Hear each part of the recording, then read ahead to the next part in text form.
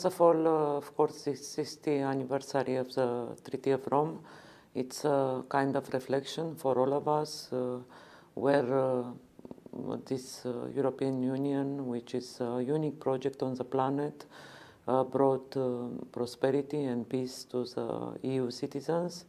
And of course, enlargement, I think, is one of the best achievements for, for European project. But of course, we are um, uh, at the forefront of, of uh, to, to witness a lot of challenges like migration, fragile economic uh, development, and also a lot of uh, nationalistic and anti, uh, anti-European views. So I think it's very important to put on the table all the options, not to, the Commission didn't want to be arrogant and uh, say this is a way to follow, because we are aware there are many uh, criticism, in the same time, of course, many expectations.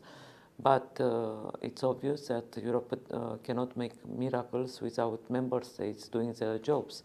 So I think now it's very important, of course, uh, uh, for to start this debate where we uh, want to go, what kind of Europe we need. But in the same time, of course, we have to have proofs because for instance, in my uh, European cohesion, I am fighting for it. Uh, it's not a secret that it's very much under attack uh, because there are a lot of money. Uh, but in the same time, uh, I uh, want to underline the unique feature of this policy that we are dealing with 300 regions and we have policies tailor-made for each regions and many of these regions are uh, now where they are because of cohesion policy.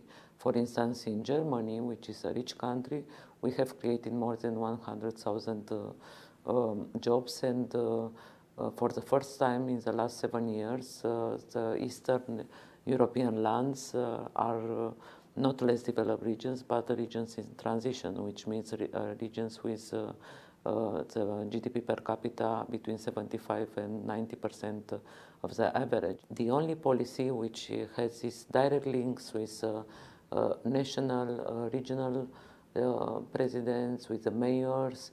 So if we don't have this policy, which has direct link with citizens, I don't know how European Union could be closer to the citizens. So for uh, me and from my point of view, I think uh, this cohesion policy is more needed than ever, despite of all necessities that we have and all the pressures that we have, because it's obvious that Brexit and other, uh, how to say, uh, new priorities like security, internal, external, and all the discussion about European army will put some pressure on, on the European budget. But in the same time, we have to preserve what is uh, in the benefit of the citizens and this cohesion policy could be seen uh, everywhere, in every corner of European Union, uh, directly from, from the better transport, better hospitals, better schools, uh, roads. Uh, uh, so I think it's very important to preserve it.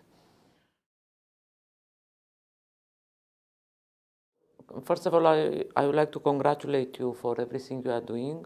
I think the role of the media is uh, first and foremost to inform correctly I am I started my career as a journalist, and I can um, confess you that at that time we had our political uh, convictions, uh, of course, but we were not so politicized like today. So now uh, I think it's very important to be honest with ourselves and not to try to impose as uh, uh, uh, as journalists our point of view.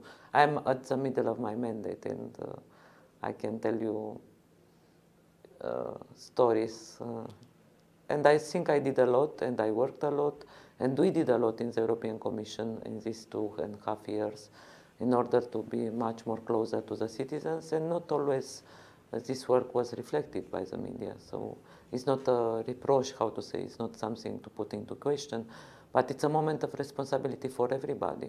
So as I said in the beginning, uh, if we put all uh, all the guilty on the European Commission or European Union, we are wrong because we have all our responsibilities level.